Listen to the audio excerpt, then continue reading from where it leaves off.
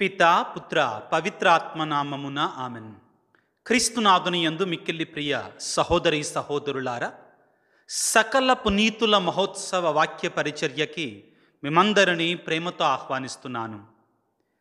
దర్శన గ్రంథము ఏడవ అధ్యాయము తొమ్మిదవ వచనము నుండి.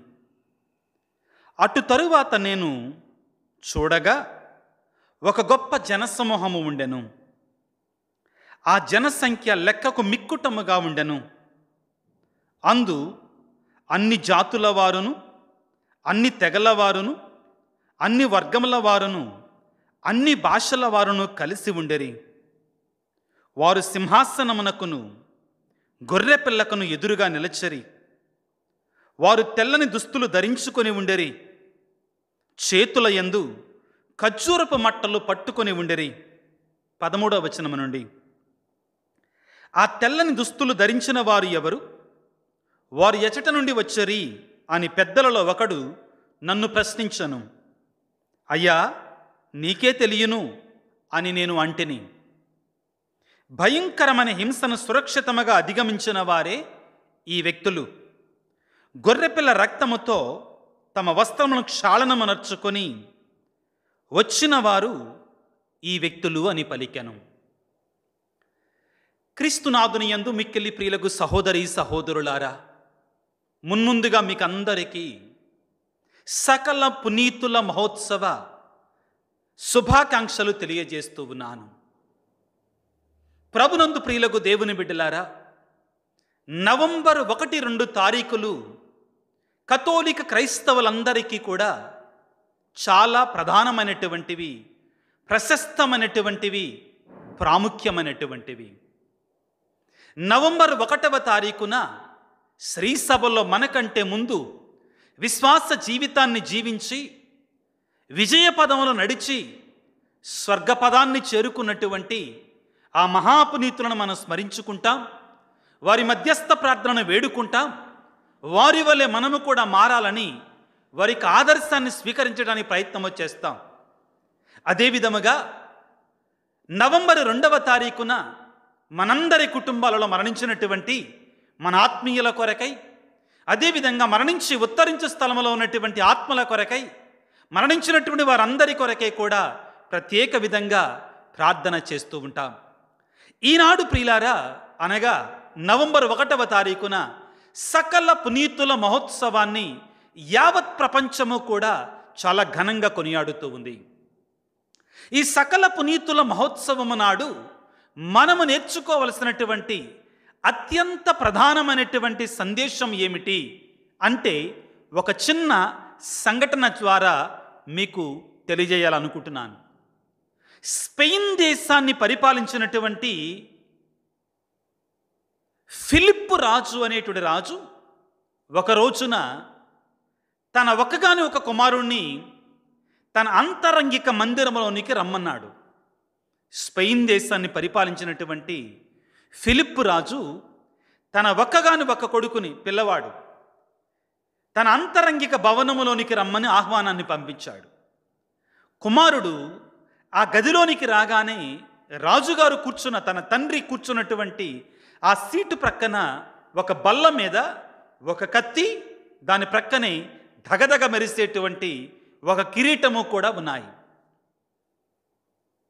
రాజు కుమారుణ్ణి అడిగాడు నాయన నీకు అవకాశం దొరికితే ఈ రెంటిలో మొదటిగా దేన్ని స్వీకరిస్తావు? అని అడిగాడు. జాగ్రత్తగా ఆలకించండి. నాయన నీకు అవకాశం ఇస్తే ఈ రెంటిలో మొదటిగా దేనిని స్వీకరిస్తావు? దేన్ని కోరుకుంటావు? What will you desire first between these two sword and ఆ కిరీటం. అంటే పిల్లవాడు కదా యుక్త వయసులో ఉన్నటువంటి వాడు అన్నాడు నేను కిరీటాన్ని కోరుకుంటా అన్నాడు. అప్పుడు ఫిలిప్ రాజు తన కుమారునికి హితబోధ చేస్తూ అన్నాడు నాయన ఖడ్గాన్ని కోరుకో కత్తిని కోరుకో. ఒక రాజుగా నీవు శ్రమతో యుద్ధము చేసి నిన్ను నీవు కాపాడుకోవాలి నీ ప్రజలను కాపాడుకోవాలి శత్రువుల నుండి. నీవెప్పుడైతే నీవు ఒక ఖడ్గాన్ని చేబూని నిన్ను నీవు నీ ప్రజలను కూడా శత్రువు నుండి కాపాడగలుగుతావో కిరీటము దానంతట అదే నీకు దొరుకుతుంది అన్నాడు. కిరీటము దానంతట అదే నీకు దొరుకుతుంది. కానీ దానికి బదులుగా నీవు కిరీటాన్నే కోరుకుంటే ఖడ్గాన్ని వద్దనుకుంటే నీ కిరీటాన్ని వేరే వారు తీసుకొని వెళ్ళే ప్రమాదం ఉంటుంది అని చెప్పాడు. క్రీస్తునాథుని యందు మిక్కిలి ప్రియులకు సహోదరి సహోదరులారా ఈనాడు యావత్ కథోలిక శ్రీ సభ సకల పునీతుల మహోత్సవాన్ని కొనియాడుకుంటుండగా మనందరికిచ్చే సందేశం ఇదే. ఏమిటి అంటే ఇహలోకములో ఉండగా మనము ప్రియులారా సాతాను మీద పోరాడాలి. చెడు మీద పోరాడాలి పాపం మీద పోరాడాలి. మనము సాతానుకి చెడుకి పాపానికి దూరంగా ఉండగలిగితే మనము దేవుని సన్నిధి చేరుకుంటాము. ఈ సత్యాన్ని తెలియజేసేదే ఈ పండగ ప్రియులారా ఈ సకల పునీతుల మహోత్సవం అనేటువంటిది శ్రీసభ చరిత్రలో మూడు నాలుగు శతాబ్దాల నుండి కూడా కొనియాడబడుతుంది పిల్లారా శ్రీసభ ఈ సకల పునీతుల మహోత్సవానికి చాలా ఎక్కువ ప్రాధాన్యతనిస్తూ ఉంది. కారణం ఏమిటి అంటే శ్రీసభలో పునీతులు కోకొల్లలు ప్రియురాలా. క్రీస్తు యొక్క మార్గాన్ని స్వీకరించి అనుసరించి ఆ మార్గము కొరకై ఆ క్రీస్తు రాజ్యము కొరకై పోరాడినటువంటి వారు మరణించినటువంటి వారు మతసాక్షులుగా హతసాక్షులుగా వేదసాక్షులుగా మరణించినటువంటి వారు కోకొల్లలు కోట్ల మంది ప్రియులారా. దైవార్చన క్యాలెండర్లో మనందరము కూడా గొప్ప గొప్ప పునీతుల యొక్క పండగలను మనం కొనియాడతాం ప్రియులారా. డాన్ బోస్కో గారి పండగని జనవరి ముప్పై ముప్పై ఒకటో తారీఖులను మనం కొనియాడతాం. లూర్దు మాత పండగని మనం ఫిబ్రవరి పదకొండవ తారీఖున కొనియాడతాం. జూన్ పదమూడవ తారీఖున అంతోని వారి పండగను మనం కొనియాడతాం. జూన్ ఇరవై తొమ్మిదవ తారీఖున పేతురు పౌలు గారి యొక్క మహోత్సవాన్ని మనం కొనియాడతాం. ఈ రీతిగా దైవార్చన క్యాలెండర్లో మనం చాలామంది పునీతులను మనం కొనియాడతాం. కానీ పునీతులు కోకొల్లరు. దైవార్చన క్యాలెండర్ కూడా సరిపోదు. అవును ప్రిలారా చాలామంది పునీతుల గురించి మాట్లాడుతుంటే ప్రిలారా శ్రీసభ పునీతులుగా పట్టం ఇచ్చినటువంటి వారు కొంతమంది అయితే ఇంకా శ్రీసభ పట్టం ఇవ్వనటువంటి వారు పునీత పట్టం ఇవ్వనటువంటి వారు కోకొల్లలు కోట్ల మంది ప్రియులారా. పునీతులు అంటే ఎవరు? ఎవరైతే క్రీస్తు మార్గాన్ని అనుసరించి క్రీస్తు బాటలు నడిచి చివరికి దేవుని యొక్క సన్నిధి చేరుకున్నారో వారందరూ పునీతులే. కాబట్టి ప్రియులరా వీరందరి కొరకే ఒక ప్రత్యేకమైన దినాన్ని ఏర్పాటు చేసుకొని ఈ సకల పునీతుల మహోత్సవం రోజున వారిని మనం జ్ఞాపకం చేసుకుంటున్నాం. వారికి ఆదర్శాన్ని స్వీకరిస్తున్నాం. వారికి మధ్యస్థ ప్రార్థనను వేడుకుంటున్నాం ప్రిలారా ఈ సకల పునీతుల యొక్క మహోత్సవం యొక్క పరమార్థం ఇదే. ఈ సకల పునీతుల మహోత్సవం రోజున కొన్ని ముఖ్యమైన అంశాలను ధ్యానం చేసుకోవడానికి ప్రయత్నం చేద్దాం ప్రియులకు దేవుని బిడ్డారా నెంబర్ వన్ అన్నిటికంటే ముఖ్యంగా వారు ఇహలోకములో ఉండగా దేవుని యొక్క వాక్యానికి విధేయులై స్వర్గరాజ్యాన్ని చేరుకున్నటువంటి వారు. ఈనాడు మనం చదువుకున్న వాక్యములో దర్శన గ్రంథము ఏడవ అధ్యాయము పదమూడవ వచనాన్ని చదువుకుంటే ఈ తెల్లని దుస్తులు ధరించిన వారు ఎవరు అని పెద్దలలో వాడు నన్ను ప్రశ్నించను. యోహాను గారు పాట్మోస్ దీవిలో ఉండగా ఆయన దర్శనాలు పొందుకున్నాడు చాలా దర్శనాలు. వాటిలో ఒకటి ఏమిటి? సర్వేశ్వరుని గొర్రెపిల్లైన క్రీస్తు భగవానుడు సింహాసనంపై ఆసీనుడై ఉండగా ఎంతోమంది లెక్కకు మిక్కుటమగా ఉన్నటువంటి వారు ఆ సింహాసనము చుట్టూ చేరి స్థుతులు స్థుతులు స్తోత్రాలన్నీ దేవునికి స్తోత్రాలు పాడుతున్నారు. యోహాను గారు ఆ దర్శనాన్ని చూస్తుండగా ఆ పునీతులను చూస్తూ ఉండగా పెద్దలలో ఒకడు వచ్చి వాళ్ళందరూ ఎవరు? అని అడిగాడు. ఆయనకి తెలుసు కానీ యోహాను గారి నుండి తెలుసుకోవాలని యోహాను గారికి నేర్పించాలని ఒక ప్రశ్న వేశాడు. యోహాను గారు చాలా చాకచక్యంగా అయ్యా వాళ్ళ గురించి నాకేం తెలుసు. నీకే తెలియను అన్నాడు. అప్పుడు ప్రియులారా వివరించటం మొదలుపెట్టాడు. ఏమని? భయంకరమైన హింసను సురక్షితముగా అధిగమించిన వారే ఈ వ్యక్తులు. గొర్రెపిల్ల రక్తముతో తమ వస్త్రమును క్షాళనమనర్చుకొని స్వచ్ఛముగా చేసుకునేది అందుచేత వారు దేవుని సింహాసనం ఎదుట నిలచి అహోరాత్రములు ఆయన దేవాలయములో సేవలు చేయుదురు. పునీతులు ఏం చేస్తారంటండి? వారట అహోరాత్రములు దేవుని సింహాసనము చుట్టూ చేరి దేవుని నామాన్ని స్తుతిస్తారు. ఎవరు వీరు? అంటే శ్రమలొచ్చినా బాధలొచ్చినా నిందలు వచ్చినా కానీ వారు తమ వస్త్రాలని క్రీస్తు రక్తము చేత కడుక్కున్నటువంటి వారు.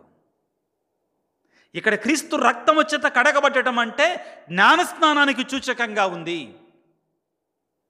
ఇది మామూలుగా ఊరికే జ్ఞానస్నానం తీసుకొని ఆ నామమాత్ర క్రైస్తవ జీవితాన్ని జీవించటం కాదు. అనునిత్యము కూడా క్రీస్తు రక్తము చేత కడగబడినటువంటి వారు వారు. వారి వస్త్రాలట తెల్ల తెల్లగా దగదగ మెరుస్తున్నాయట. పరిశుద్ధతకు గురుతు ప్రియులారా. అయితే వీరు ఎంతమంది ఉన్నారు అక్కడ దర్శన గ్రంథము ఏడవ అధ్యాయం తొమ్మిదవ వచనం.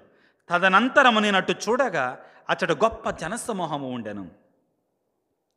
ఆ జనసంఖ్య లెక్కకు మిక్కుటముగా ఉన్నది అసంఖ్యాకులుగా ఉన్నారు వారు. అన్ని జాతుల నుండి అన్ని తెగల నుండి అన్ని వర్గముల నుండి అన్ని భాషల నుండి వారు వచ్చి దేవుని సింహాసనము చుట్టూ దేవునికి స్తోత్రాలు చెల్లిస్తున్నారు. ఎంత గొప్ప దర్శనం ప్రియులారా! మనం కూడా అందులో ఉంటే ఎంత బాగుంటుంది. ఈ కోరిక మనందరికీ ఉండాలి. ఈ తపన మనందరికీ ఉండాలి. మొదటిగా ప్రిలారా వారు విజయము సాధించినటువంటి వారు. రెండవది వారు లెక్కకు మిక్కుటమ్మగా ఉన్నారు. మూడవది వారు అన్ని జాతుల నుండి అన్ని తెగల నుండి అన్ని వర్గాల నుండి అన్ని ప్రాంతాల నుండి వారు ఉన్నారు. ఈ ప్రాంతానికి మాత్రమే పరిమితము. ఈ ప్రాంతానికి మాత్రమే వారు చెందినటువంటి వారని ఏరువులు కూడా ఈ భాషకు చెందినటువంటి వారే ఉండాలి అని ఏరువులు కూడా లేదు పిల్లారా అందరం కూడా దాన్ని అనుకూలమై. మూడవది పిల్లారా వారి జీవితాలు మనకి ఆదర్శము. వారి జీవితాలు మనకి ఆదర్శంగా ఉండాలి.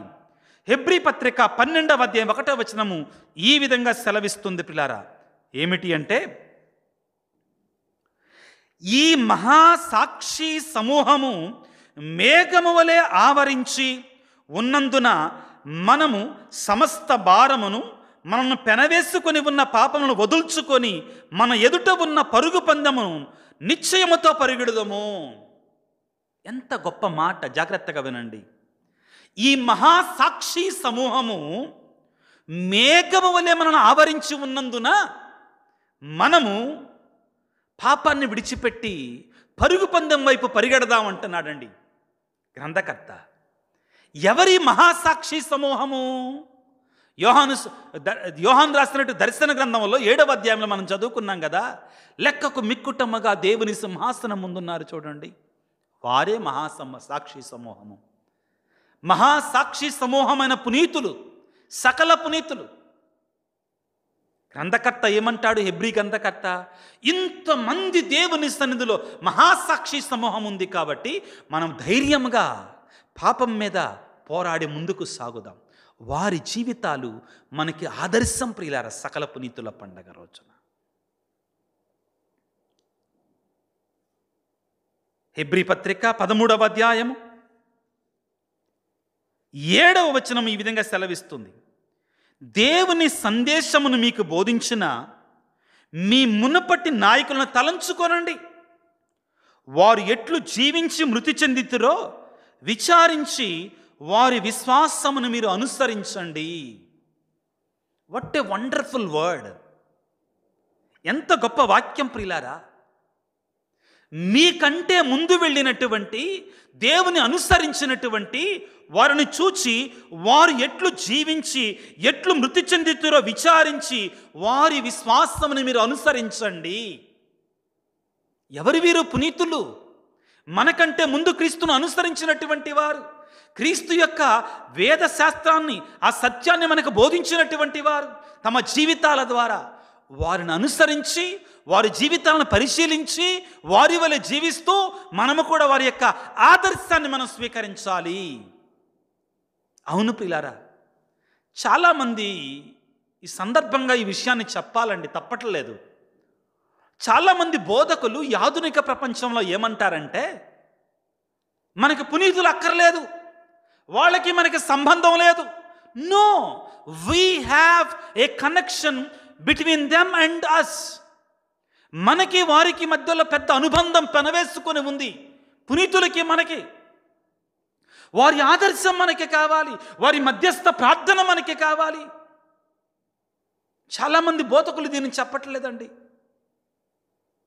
ఏమనుంది వాక్యములో చాలా స్పష్టముగా హెబ్రి పత్రిక పదమూడవ అధ్యాయం ఏడవ వచనములో దేవుని సందేశమును మీకు బోధించిన మీ మునపటి నాయకులను తలంచుకుని ఎవరు మునపటి నాయకులు? మనకంటే ముందు క్రీస్తు జీవితాన్ని వాక్యానుసారముగా జీవించి గతించినటువంటి వారే మన నాయకులు. మదర్ తెరేసా పునీత డాన్ బోస్కో పునీత లోయలాపురి ఇన్యాసి వారు పునీత జాన్ మరియ వియాన్నీ గారు ఒకళ్ళ కాదు వీళ్ళే మన నాయకులు పిల్లారా వీళ్ళే పునీతులు. మన కొరకే ప్రార్థన చేసేటువంటి వారు. మనకి వారు ఆదర్శం ప్రియులారా ఈ మహాసాక్షి సమూహము మేఘములే మనల్ని ఆవరించి మనకు ధైర్యాన్ని ఇస్తుంది మనకు ప్రోత్సాహాన్ని ఇస్తుంది. వారు మనకి గొప్ప ఆదర్శంగా నిలబడుతున్నారు. మరొక ముఖ్యమైన సందేశం వారు మన కొరకై ప్రార్థన చేస్తారు దేవుని సన్నిధిలో. విశ్వాస ప్రమాణములో మనం ఏమని ప్రార్థన చేస్తాం? పునీతుల సంబంధ ప్రయోజనమును విశ్వసించుచున్నాను. ఈ ఈ క్రీడ్ విశ్వాస ప్రమాణం అండి ఈ మధ్య కాలంలో రాసినటువంటిది కాదు ఆదిమ క్రైస్తవ సంఘంలో రాయబడినటువంటిది. ఎందుకని? విశ్వాసుల సంబంధ ప్రయోజనమును విశ్వసించుచున్నాను. పునీతుల సంబంధ ప్రయోజనమును విశ్వసించుచున్నాను. పునీతులతో మనకున్నట్టు ఆ బంధం ఆ అనుబంధం ఆ సంబంధం తద్వారా వారు మనకైపుకై ప్రార్థన చేస్తారు. ఈ పునీతుల సంబంధ ప్రయోజనాన్ని విస్మరిస్తే మనం కథోలిక నిండు విశ్వాసములో మనం పాల్గొన్నట్లు కాదండి. విస్మరించకూడదు. వారు మన కొరకే ప్రార్థిస్తారు. మనకు వారు ఆదర్శం ప్రియులారా ఎవరు వీరు? నిజమే. నేను ముందుగా చెప్పాను మదర్ తెరేసా డాన్ బోస్కో లైలా ప్రిన్యాసి వారు పునీత జాన్ మరియ బియ్యాన్ని పునీత చిన్న తెరేసమ్మ గారు అవీలా పురి తెరే తెరేసమ్మ గారు పునీత రెండవ జాన్ పాలు పాపు గారు జాన్ అకుటిస్ గారు యవన ప్రాయంలో ఉన్నటువంటి వారు పిల్లల ప్రాయంలో ఉన్నటువంటి వారు. వీరే కాదు. చాలామంది ఉన్నారు. ఈ వాక్యాన్ని చెప్తుండగా ఒకళ్ళిద్దరు నాకు జ్ఞాపకం వస్తున్నారు. నా విచారణలో ఉన్నటువంటి భక్తులు ప్రిలారా నేను తాలపూర్లో పనిచేస్తుండగా జోసఫ్ నగర్లో అంకమ్మ అనేటువంటి ఒక స్త్రీ ముస్సలావిడ అయినా కానీ దేవుడంటే అపారమైన మమేకం ప్రేమ ఒక గొప్ప పునీతురాలు. నేను చల్లపల్లిలో పనిచేసినప్పుడు ఆ సిరువోలు కట్ట దగ్గర ఒక స్త్రీ ఉండేది. ప్రయాణం చేసి వచ్చి ముస్సలావిడైనా కానీ దివ్యబలి పూజలో పాల్గొనేది. వీళ్ళందరూ పునీతుల ప్రిలారా చాలామంది ఇంకా మార్గంలో ఉన్నారు. ఈనాడు వాళ్ళు మనకి సవాలు విసురుతున్నారు. పునీత లయోలాపురి ఇనియాసి వారు చెప్పినట్లుగా if he and she can become why can't I వారు వారు ఆమె అతడు పునీతులుగా మారగలిగినప్పుడు నేనెందుకు మారకూడదు? అది ఈరోజు ప్రధానమైన సందేశం ప్రిలారా మన విశ్వాస జీవితం ఏంటో తెలుసా? We are call to be saints పౌలు గారు అంటారు కొరింతీలకు రాసిన మొదటి లేఖలో ఒకటవ అధ్యాయం రెండవ వచనములో చాలా స్పష్టముగా అంటారు. ఏమంటారు పిల్లారా? కొరింతి పత్రికను ప్రారంభిస్తూ కొరింతిలోని దైవ సంఘమునకు రాయునది మీరు క్రీస్తు చేస్తున్నందు పరిశుద్ధము చెయ్యబడి పవిత్ర స్థలమునందును మన ప్రభు అయిన యేసుక్రీస్తు నామమును ప్రార్థించు వారితో సహా పునీతులుగా పరిశుద్ధులుగా ఉండుటకు పిలువబడినటువంటి వారు మీరు. You are called to be saints మీరు పునీతులుగా ఉండటానికి పిలువబడినటువంటి వారు.